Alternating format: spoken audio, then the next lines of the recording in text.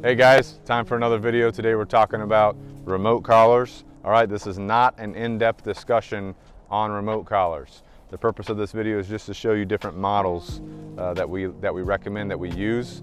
Again, you need to follow our training progression. In order to get to remote collar conditioning, you should not be putting a remote collar on your dog on day one.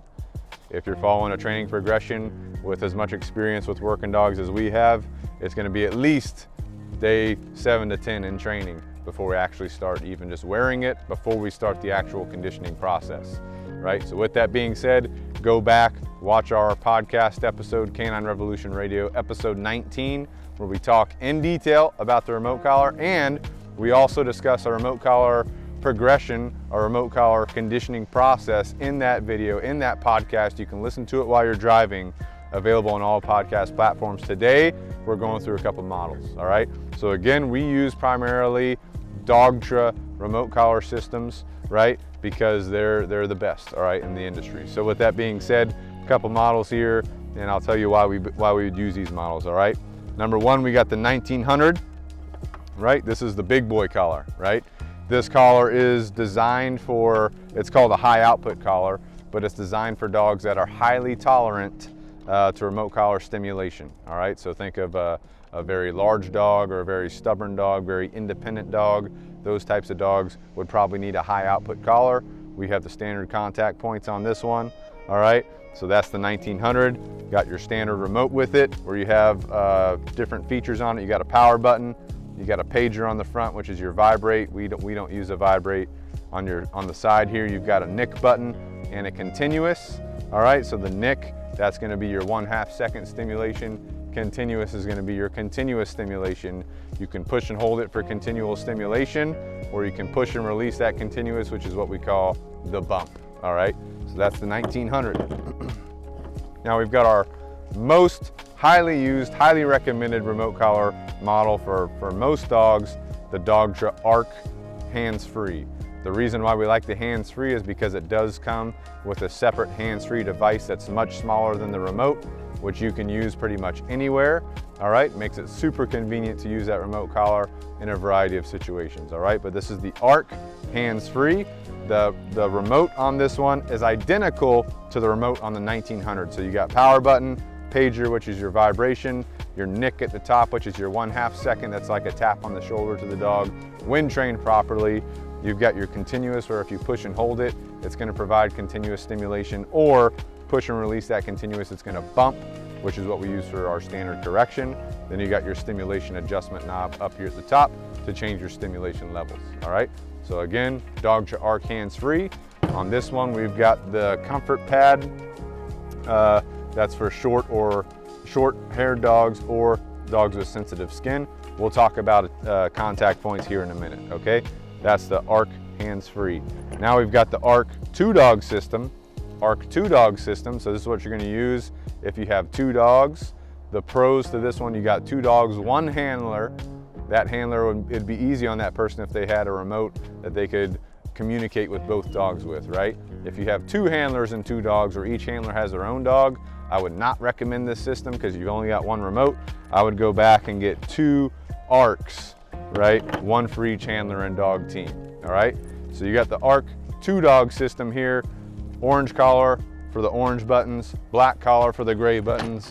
Only difference is here, instead of having nick and continuous on the side, you've got a switch on the front that details whether you're on the nick feature or the continuous feature. So for the most part, what we recommend, keep it on the continuous feature or that C, flip that switch down, and then for your correction no, you're gonna say no, and then you're gonna bump by pushing and releasing the side buttons. These front buttons are pagers. Again, vibration, we don't use that.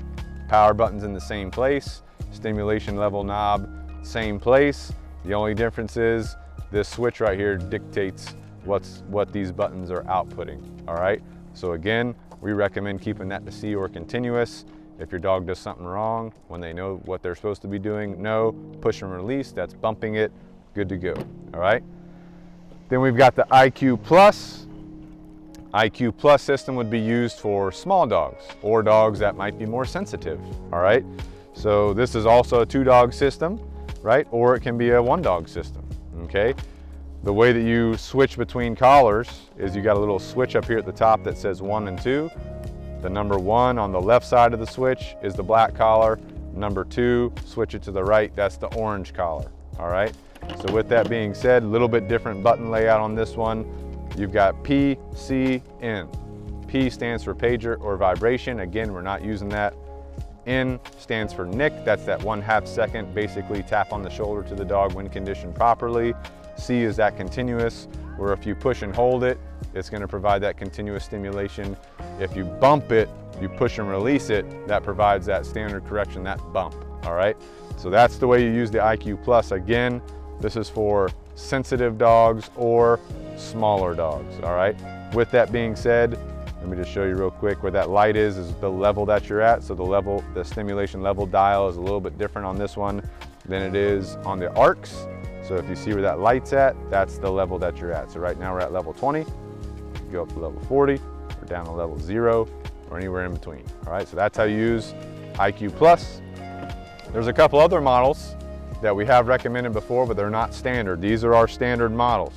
You've got the IQ Mini, which the remote is the same as the IQ Plus, but the, the actual collar is much, much smaller the contact points you cannot change out. You can change all these contact points. We'll talk about that in a second.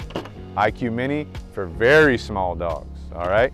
And then you've got uh, like an Edge, which is a four dog system. If you've got four dogs, you can have a collar on each one controlled by one remote, all right? You've also got a 280C. A 280C is basically an IQ uh, collar with an ARC remote. So that's convenient for some people, all right? So that would be used for like sensitive dogs, all right? So that's the basics on the different models that we recommend. Um, again, you know, you're gonna pick one out that's best for your dog. You're also gonna pick contact points that are best for your dog. With that being said, again, go through the conditioning process, go through the progression. Don't rush this, all right? So a couple contact point options. You've obviously got standard contact points, which come with your collar if you buy it from Dogtra. It comes with these right here, standard contact points. These can be taken off, right, and swapped out with other contact points just simply by unscrewing, screwing it on, okay? So a couple options, you got the Dogtra titanium comfort pad. Looks just like that. It comes with all the tools you need. Again, you're gonna be using that for short-haired or sensitive dogs. So think about Doberman, uh, Pit Bull, dogs like that, or even like a thin-haired Shepherd. There are some thin-haired Shepherds out there. You could put that on them, right? Reduce any type of irritation. Now, with that being said, using the comfort pad is going to actually reduce your remote collar's output. So if you were on a level 20 on standard contact points and you throw one of these on there, you might be at level 25 or somewhere around there. So just keep that in mind, okay? Then you've got your enhanced contact points. You've got regular size ones and large ones. They've got these wings on them. These wings are very flexible. I'm gonna break one of these out so I can demonstrate that. But these are gonna be used for uh, long-haired dogs or dogs that the standard contact points don't work with, all right? So the key here is you put this on the collar, okay? So you're gonna screw it in like that. The good part is these wings, they, they move, right? They're a little bit flexible. That's good because they're going to allow you to appropriately tighten this down on the dog's neck. These will flex a little bit to the dog's neck. As the dog's moving, they're gonna flex to seek to make proper contact with the dog.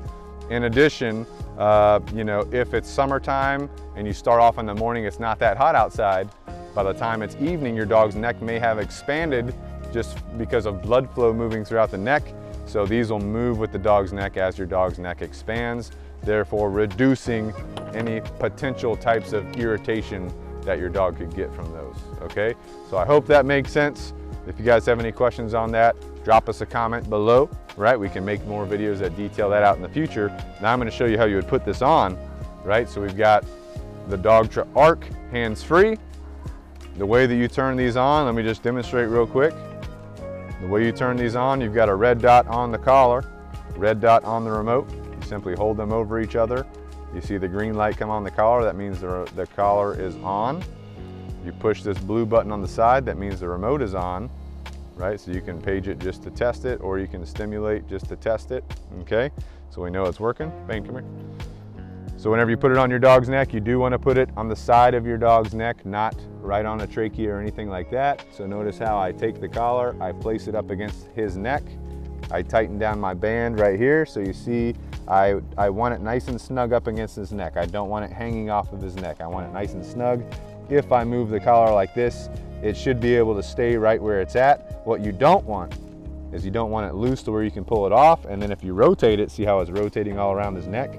That could create some irritation, all right? So we want to reduce irritation as much as possible. So we tighten it to where if we move the box, it's staying right there, right?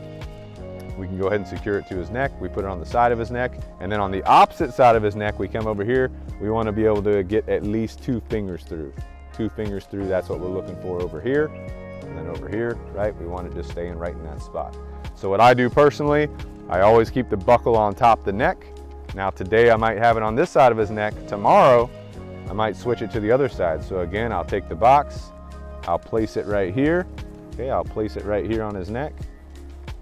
Go ahead and buckle it. I do what I call my initial tightening. And I come over here, I check the box, see if it moves excessively, see if I can pull it off his skin, which I can't do.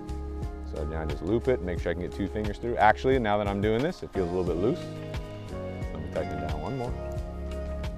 Okay, make sure I can move this right here and it stays right there. Still get two fingers through here, good to go, okay? So that's how we're gonna place a remote collar on the dog's neck. What I do a lot of times, that comes with a clip. You put the clip on the back, just clip it to my pocket. Now we're ready to go, okay? The remote collar is gonna give you and your dog freedom it's gonna give you and your dog a new line of communication when trained and taught properly. So keep all that in mind as you're uh, looking at using remote collars. You should not be using it on day one, right, of training with your dog. Follow the proper training progression, go through the proper conditioning process, good to go. If you guys have any questions, if you appreciate this information, definitely drop us a comment below. We really appreciate that. We try to get back to everybody. And then if someone asks for a special video, we try to make that, all right? But until the next video, out.